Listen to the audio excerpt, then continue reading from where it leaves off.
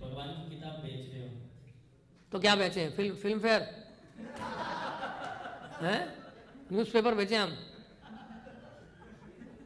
मतलब क्या बेचना है? गार्बेज कूड़ा? खरीदोगे आप? क्या बेचे बताइए? शराब बेचे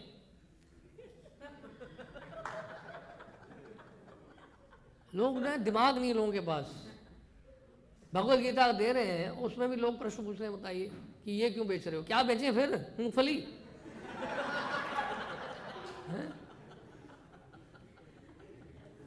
कंप्लीट नॉनसेंस वो कहते प्रभु जी वो कहते तुम लोग इतने दुष्ट तुमने भगवान को सड़क पे ला दिया अच्छा क्योंकि आप मंदिर नहीं आ रहे इसलिए सड़क पे आए हूँ। अब मंदिर में आना शुरू कर दो सड़क पे नहीं आएँगे। आप जैसे बेवकूफ़ों को मंदिर लाने के लिए सड़क पे आए भगवान।